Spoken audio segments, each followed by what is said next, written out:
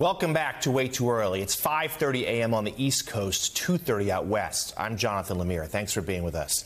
Right now, thousands of Ukrainians are fleeing their country, a mass exodus that officials say is the start of a refugee crisis in Eastern Europe. More than 350,000 people have fled Ukraine since Russia launched its attack on the country last week. That's according to the United Nations Refugee Agency. Most have gone to neighboring nations such as Romania, Poland, and Hungary.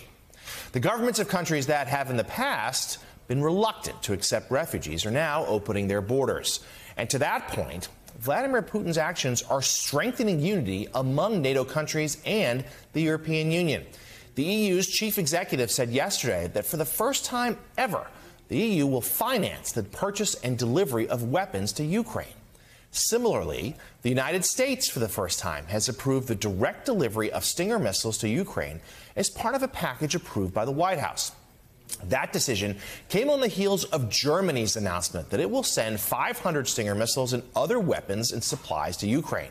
This was a historic break from Germany's post World War II foreign policy. It would not send weapons into military zones. Chancellor Olaf Scholz, just on the job, called it, quote, a new reality. Hard to overstate how important that is. After many initially doubted his capabilities as a wartime president, Ukraine's Volodymyr Zelensky has emerged as a hero in his nation and around the world.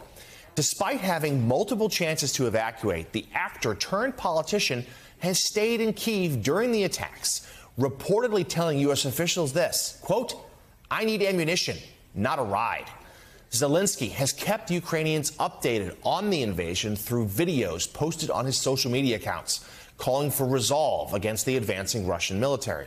This as he acknowledges the danger he faces, saying in one video that intel has revealed him to be the number one target of the Kremlin. According to two sources who spoke with Axios, Zelensky ended a video call with EU leaders last week by saying, quote, this might be the last time you see me alive. Joining us now, news director for New Lines Magazine, Michael Weiss, who has been an essential voice on this story uh, for weeks now. And Michael, we're so glad you're back with us today. Let's start there with President Zelensky. Uh, are you at all surprised from someone who is a satirist, who was the Ukrainian voice of their version of Paddington, it was just revealed? Are you surprised that he has risen to meet this moment and that he has become a hero like figure both at home and abroad? I mean, I, I, have to confess I am. I mean, this is a guy who he was elected with 73% of the vote in 2019, but his approval rating in the last few months leading up to this war had sagged below 30%. A lot of Ukrainians were quite down on the political establishment, the, the very establishment that he mocked with such great effect in that series, Servant of the People. You have to understand the kind of postmodern spectacle of this all, Jonathan. Uh, Zelensky made a, a TV show that was sort of like an Armando Iannucci style Veep series about a school teacher who goes off on this rant that gets recorded and, and, is uploaded and becomes viral, denouncing the Ukrainian government for corruption and, and inefficiency and bureaucracy, et cetera, and then gets elected uh, overnight as president of Ukraine. And then Zelensky himself becomes president of Ukraine. And what we're seeing is this kind of uh, kind of extraordinary transition of Charlie Chaplin into Winston Churchill. Um, his leadership has blown everybody away. The Washington Post reported that he himself dialed into a meeting of EU ministers. Uh, and just as you know, some of these nations, including Germany, were, were flagging in their resolve or unwilling and reluctant to provide arms or to really dial up sanctions on Russia to crippling effect, Zelensky's emotional appeal is what swayed them to the point of tears. He said, "This might be the last time you'll you'll ever hear from me." So this is a man who has has made it amply apparent that he will go down with his country if needs must. Um, and I, I've not seen anything like this in my lifetime from a mm-hmm. European mm-hmm. leader.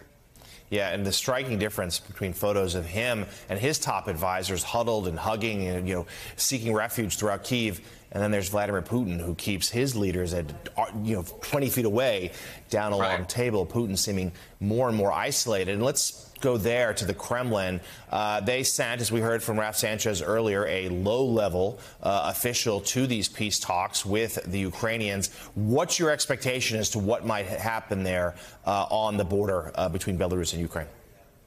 Well, I have very low expectations. I mean, as you say, the, the delegation that Putin has sent is kind of this, this risible cast of characters. Um, the former Russian foreign minister under Boris Yeltsin tweeted yesterday that these are non entities, right? But the Ukrainians have sent actual diplomats and actual officials, including, by the way, their defense minister, uh, who has been integral to holding the city of Kiev, and he's the one that you've seen photographed huddled with with President Zelensky. Look, I mean, this is a, a classic kind of Putinist move. Um, you know, pretend to sue for peace, pretend to de-escalate, while all the while escalating. I mean, I've just seen a, a Twitter thread.